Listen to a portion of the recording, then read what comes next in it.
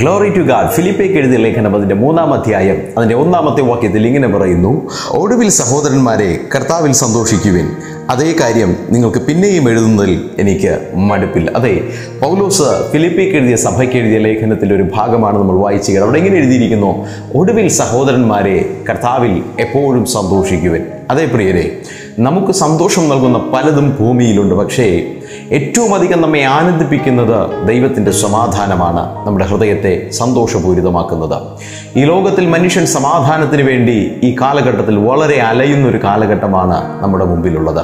മനുഷ്യർക്കെല്ലാം ഉണ്ട് പണമുണ്ട് പദവിയുണ്ട് വാഹനങ്ങളുണ്ട് കൊട്ടാര സദൃശ്യമായ ഭവനങ്ങളും കെട്ടിട സമുച്ചയങ്ങളുമുണ്ട് ഫ്ലാറ്റുകളുണ്ട് രാജ്യാന്തരങ്ങളെ കടന്നു പറക്കുവാൻ കയ്യിൽ വലിയ പാസ്പോർട്ടുകളുണ്ട് ബാങ്ക് അക്കൗണ്ടുകൾ തുറന്ന ലക്ഷങ്ങൾ കോടികളുടെ നിക്ഷേപങ്ങൾ അതിനകത്തുണ്ട് പേരുകളും പ്രശസ്തികളും പലയിടങ്ങളിലുമുണ്ട്. രാഷ്ട്രീയ ബന്ധങ്ങളുണ്ട്.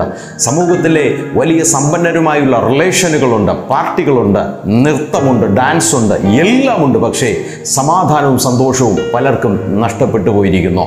നമ്മുടെ രാജ്യത്തിന്റെ കണക്കുകൾ പരിശോധിച്ചാൽ തന്നെ നമുക്ക് മനസ്സിലാകും. ഈ കാലഘട്ടത്തിൽ എനിക്കെന്റെ ജീവിതം മടുത്തുപോയി എന്ന് പറഞ്ഞ് അവസാനിപ്പിച്ചവർ ഒത്തിരിയുണ്ട്. ഒരു തുണ്ട് കയറിൽ ഒരു കുപ്പി വിഷത്തിൽ ഒരു ട്രെയിനിന് മുന്നിൽ ഒരു നദിയുടെ അകത്തേക്ക് ഒരു ഡാമിനകത്തേക്ക് ഒരു വാഹനത്തിന്റെ അലക്ഷ്യമായി ഓടിച്ച ഒക്കെ ജീവനെ കളയുന്നവർ ഒത്തിരി നമുക്കിടയിലുണ്ട്. എന്തുകൊണ്ട്? അതേ പ്രിയരെ കാലം കഴിയും തോറും മനുഷ്യന്റെ സമാധാനം നശിച്ചുകൊണ്ടിരിക്കുകയാണ്.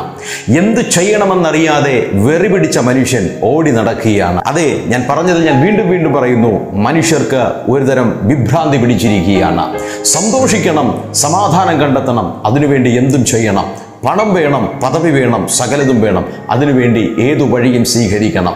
ബാലനേത് വൃദ്ധനേത് അമ്മയേത് മാതാവേത് എന്ന് മനുഷ്യന് തിരിച്ചറിയാൻ കഴിയാത്ത കാലഘട്ടത്തിലൂടെ മാനവരാശി മുന്നോട്ട് പോയിക്കൊണ്ടിരിക്കുകയാണ്. എന്നാൽ ഇന്ന് ഞാൻ നിങ്ങളോട് സംസാരിക്കുന്ന ഈ ദൈവവചനത്തിനകത്ത് എന്നെ കേൾക്കുന്ന നിങ്ങൾ ആരെങ്കിലും സമാധാനവും സന്തോഷവും ഐക്യതയും ഇല്ലാത്ത കുടുംബങ്ങളും വ്യക്തിബന്ധങ്ങളുമായി നിങ്ങൾ മുന്നോട്ട് പോകുന്നുവെങ്കിൽ ഈ വചനം നിങ്ങളെ തൊടാൻ പോവുകയാണ്. നിങ്ങളുടെ ജീവിതത്തിന് പരിവർത്തനം വരുത്തുവാൻ പോവുകയാണ്. പ്രിയരെ ഈ കാലഘട്ടത്തിൽ മനുഷ്യൻ സമാധാനം കണ്ടെത്തുവാൻ വേണ്ടി വളരെ ആഗ്രഹിക്കുന്നവരാണ്. സന്തോഷത്തിന് വേണ്ടി അവർ എന്തിനും ആഗ്രഹിക്കുന്നവരാണ്. പക്ഷേ അത് പണം കൊടുത്ത് മേടിക്കാമായിരുന്നെങ്കിൽ അവർക്ക് ഒരുപക്ഷെ മേടിച്ച് തന്റെ ജീവിതത്തിൽ പ്രയോജനപ്പെടുത്താമായിരുന്നു. സമാധാനവും സന്തോഷവും അത് പണം കൊടുത്താൽ കിട്ടത്തില്ലല്ലോ. നമുക്ക് വലിയ സൂപ്പർ മാർക്കറ്റുകളുണ്ട് പക്ഷേ അതിനകത്ത് അത് കിട്ടത്തില്ല. നമുക്ക് വലിയ രാസ പഠനശാലകളുണ്ട് അതിനകത്ത് അത് കിട്ടത്തില്ല. എന്നാൽ ബൈബിൾ നമ്മെ പഠിപ്പിക്കുന്നു. പൗലൂസ് പറയുകയാണ് കർത്താവിൽ എപ്പോഴും സന്തോഷിക്കും. പ്രിയരെ ഒരുപക്ഷെ മക്കളെ വെച്ച് സന്തോഷിക്കുവാൻ നമുക്ക് കഴിയത്തില്ല. ഒരുപക്ഷെ നമ്മുടെ സാമ്പത്തികം നമുക്ക് സന്തോഷം തരത്തില്ല. എല്ലാ സാഹചര്യത്തിലും സമാധാനവും സന്തോഷവും ഉണ്ടെന്ന് വാദിക്കുന്ന വ്യക്തിയായിരിക്കും നീ. പക്ഷേ ഒരു നിശബ്ദതയുടെ അകത്ത് നീ നിന്നെ തന്നെ പരിശോധിച്ചാൽ പ്രിയനെ എന്റെ പ്രിയ സഹോദരി നിന്റെ ഹൃദയാന്തർഭാഗം എവിടെയോ ശൂന്യമല്ലയോ? എവിടേക്കോ ഒരു വലിയ ഇരുട്ടിന്റെ ഹൃദയാന്തർഭാഗത്തിൽ ഹൃദയാന്തർ ഭാഗത്തിൽ ശൂന്യമായ ഒരു അനുഭവം നീ അനുഭവിക്കുന്നില്ലയോ? അതെ ആ സ്ഥാനമാണ് ദൈവത്തിന് കൊടുക്കേണ്ടത്. മനുഷ്യർ തങ്ങളുടെ സമാധാനത്തിന് വേണ്ടി മദ്യപിക്കുന്നു. മനുഷ്യർ തന്റെ സമാധാനത്തിനും ഉന്മാദനത്തിനും വേണ്ടി ലഹരികൾക്ക് അടിമപ്പെട്ടു പോകുന്നു. തങ്ങളുടെ ജീവിതങ്ങളെ തച്ചു തകർത്തു കളയുന്നു. പക്ഷെ ഞാൻ നിങ്ങളോട് പറയുന്നു സമാധാനം നൽകുവാൻ ദൈവത്തിന് കഴിയും.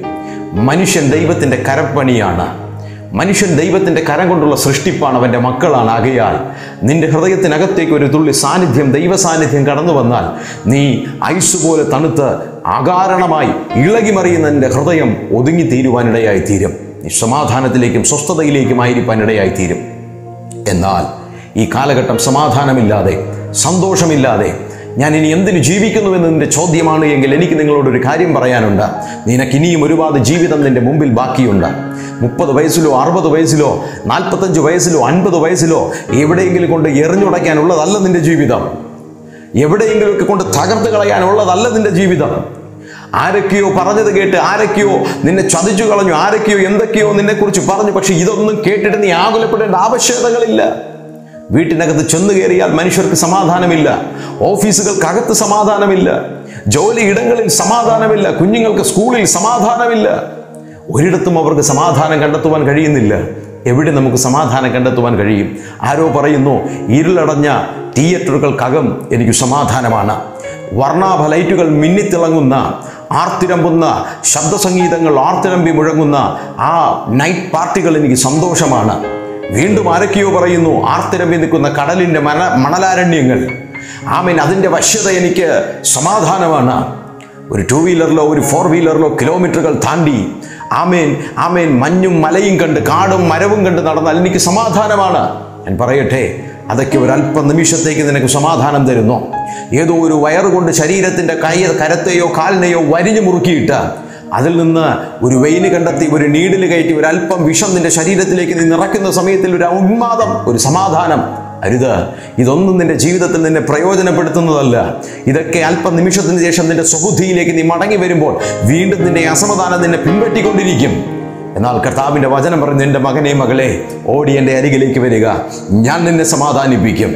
ഞാൻ നിനക്ക് സന്തോഷം നൽകും. ഈ ലോകം തരാത്ത സമാധാനവും സന്തോഷവും നൽകുവാൻ യേശുവിന് കഴിയും. ആകയാൽ പ്രിയരെ നിന്റെ ഹൃദയത്തിന് രൂപാന്തരം വരുവാൻ ഇടവരട്ടെ. നിന്റെ മനസ്സിന് രൂപാന്തരം വരുവാൻ ഇടവരട്ടെ സഹോദര. ഈ കാലഘട്ടത്തിൽ സമാധാനം അന്വേഷിച്ച് നീ ഓടണ്ട. സന്തോഷം അന്വേഷിച്ച് നീ ഓടണ്ട.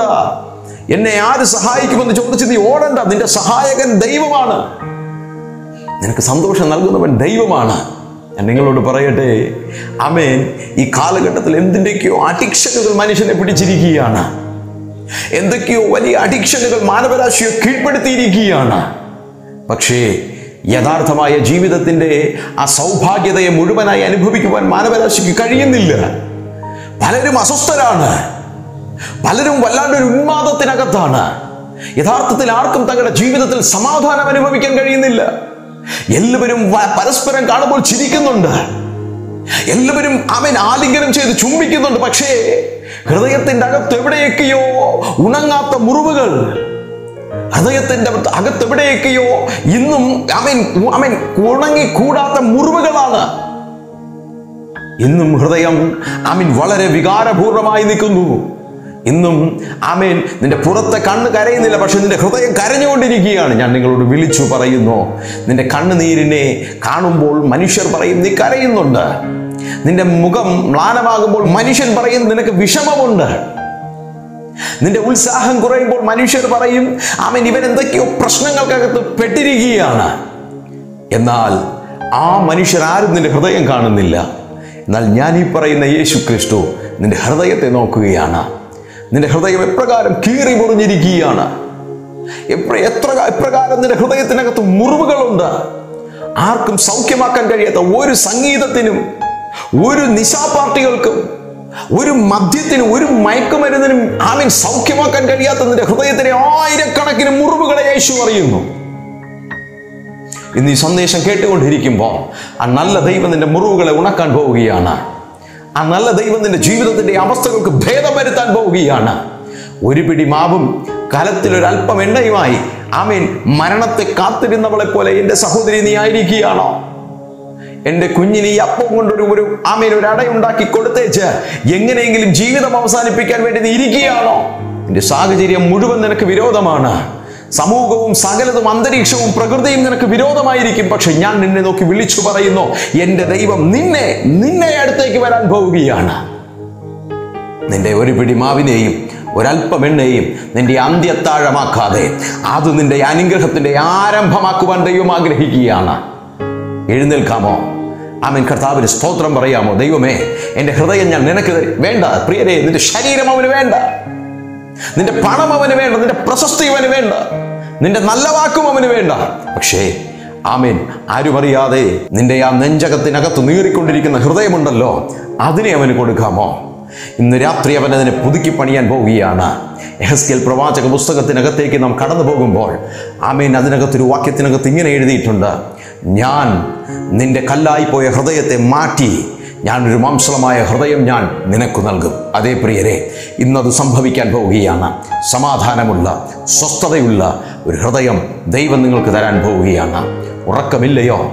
രാത്രികൾ കണ്ണുനീര് കൊണ്ട് പൊതിഞ്ഞിരിക്കുകയാണോ? നല്ല സ്വപ്നങ്ങൾ കാണേണ്ടത് നിന്റെ കുടുംബജീവിതം ഇന്ന് ഏതോ ഒരു ഭയപ്പെടുത്തുന്ന ഒരു ഭയചകുലമായ ഒരു അനുഭവമുള്ള സ്വപ്നമായി മാറിപ്പോയിരിക്കുകയാണോ? ദൈവം നിന്റെ ജീവിതത്തിൽ കടന്നു വരാൻ പോവുകയാണ്. നീ ഈ സന്ദേശം കണ്ട് നിന്റെ കയ്യിലിരിക്കുന്ന ലാപ്ടോപ്പ് മൊബൈൽ നീ തറയിൽ വെക്കുന്നത് മുതൽ നിന്റെ ജീവിതത്തിൽ എന്തോ ഒരു രൂപാന്തരം സംഭവിച്ചതുപോലെ ആർത്തിരമ്പി നിന്ന് ആമൻ നീറിക്കൊണ്ടിരിക്കുന്ന ഉമി പോലെ നീറിക്കൊണ്ടിരുന്ന നിന്റെ ഹൃദയാന്തർ ഭാഗത്തിനകത്ത് എവിടെയോ ഒരു തണുപ്പ് വന്ന് വീണതുപോലെ ഒരു പ്രഭാത മഞ്ഞിലേക്ക് ഇറങ്ങി പുറപ്പെട്ടതുപോലെ നിന്റെ ജീവിതം തണുക്കാൻ പോവുകയാണ്. സ്വസ്ഥതയിലേക്ക് പോകാൻ പോവുകയാണ്. നാമേൻ ഇനി എന്ത് ചെയ്യുമെന്ന് നീ ചോദിച്ചു നിൽക്കുന്ന ഒരു കൂട്ടം നൂറ് കൂട്ടം പ്രശ്നങ്ങൾ നിന്റെ മുമ്പിലില്ലേ? ആർക്കും ഉത്തരം തരുവാൻ കഴിയത്തില്ലെന്ന് നീ പറഞ്ഞ നിന്റെ പ്രശ്നങ്ങളില്ലേ? ഇന്ന് രാത്രിയിൽ എന്നെ കേൾക്കുന്ന പ്രിയ സഹോദര എന്നെ കേൾക്കുന്ന പ്രിയ സഹോദരി ദൈവം ആ ചോദ്യങ്ങൾക്ക് മറുപടി നൽകാൻ പോവുകയാണ്. എങ്ങനെയാണ് ആ മറുപടി എന്നറിയാമോ? നിന്റെ ഹൃദയത്തെ തണുപ്പിക്കുന്ന നിനക്ക് സ്വസ്ഥത തരുന്നൊരു മറുപടി ഇന്ന് ദൈവം നിങ്ങൾക്ക് തരാൻ പോകുന്നു. അതെ സമാധാനവും സന്തോഷവും മനുഷ്യർക്ക് നൽകുവാൻ കഴിയത്തില്ല പ്രിയരെ. ആമൻ. യാതൊന്നിനും ലോകത്തിൽ ഒന്നിനും സമാധാനം മനുഷ്യർക്ക് നൽകുവാൻ കഴിയത്തില്ല. എല്ലാവരും പബ്ലിക്കിൽ ഹാപ്പിയാണ്. എല്ലാവരും ഫേസ്ബുക്കിൽ ഹാപ്പിയാണ്. എല്ലാവരും സ്റ്റാറ്റസിൽ ഹാപ്പിയാണ്. എല്ലാവരും ഇൻസ്റ്റാഗ്രാമിൽ ഹാപ്പിയാണ്. എല്ലാവരും ചർച്ചിൽ ഹാപ്പിയാണ്. എല്ലാവരും പ്ലാറ്റ്ഫോമിൽ ഹാപ്പിയാണ് എല്ലാവരും ഉപജീവനത്തിൽ ഹാപ്പിയാണ് പക്ഷേ ആന്തരികമായി എവിടെയൊക്കെയോ അവർ അസന്തുഷ്ടരാണ്. അവർ വേദനിക്കുന്നവരാണ്. അവർ മുറിവേറ്റവരാണ്. അതെ എന്റെ ദൈവം നിന്റെ ജീവിതത്തെ തൊടാൻ പോവുകയാണ്. കൊടുക്കാമോ? ഹൃദയത്തെ ഏൽപ്പിക്കാമോ? ദൈവം നിന്നെ മാറ്റി വരയ്ക്കാൻ പോവുകയാണ്. പ്രാർത്ഥിക്കാം. നല്ല കർത്താവേ ഈ നല്ല സമയത്തിനായി സ്തോത്രം. എന്നെ കണ്ടുകൊണ്ടിരിക്കുന്ന ഈ സഹോദരങ്ങൾക്കായി ഞാൻ പ്രാർത്ഥിക്കുന്നു. റൈറ്റ് നൗ ഫാദർ നിന്റെ സാന്നിധ്യം അയക്കുക കർത്താവേ. ഹൃദയങ്ങളുടെ മുറിവുകൾ ഉണങ്ങട്ടെ കർത്താവേ. ആഴമേറിയ ആഴമേറിയ മുറിവുകൾ ഉണങ്ങട്ടെ. ഒരു മാംസളമായ ഹൃദയത്തിനകത്തേക്ക് ആമേൻ ഒരു വലിയ മുള്ള് കുത്തിയിറക്കിയതുപോലെ അതിൽ നിന്ന് രക്തമൊഴുകുന്ന അനുഭവത്തിൽ ഹൃദയം മുറിഞ്ഞ ആമീൻ വളരെ വേദനയോടെ പ്രയാസത്തോടെ ഇനി ആരോട് ഇനി എന്തിന് ഇനി എങ്ങനെയെന്ന് ചോദിച്ച് ഇരിക്കുന്ന സഹോദരങ്ങളെ ദൈവമേ കാണുന്നതിനായി സ്തോത്രം. ആമേൻ. എന്റെ ജീവിതം ഒരു തൊട്ട് കയറിൽ തീർന്നു പോകുമോ? എന്റെ ജീവിതം ഒരു കുപ്പി മധ്യത്തിൽ തീർന്നു പോകുമോ? ഞാൻ ഇനി എന്തിനു ജീവിക്കണം? അതെ നീ ജീവിച്ചിരുന്ന ദൈവത്തിന്റെ മഹിമയെ പാടാനുള്ളവനാണ്. ആമേൻ പ്രസംഗിപ്പാനുള്ളവളാണ്. ആകയാൽ പ്രിയരെ ഞാൻ പ്രാർത്ഥിക്കുന്നു കർത്താവെ പ്രനുഗ്രഹിക്കപ്പെടട്ടെ സമാധാനത്തിലേക്ക് വരട്ടെ. സന്തോഷത്തിലേക്ക് വരട്ടെ. യേശുവൻ നാമത്തിൽ തന്നെ പിതാവേ ആമേൻ. God bless you.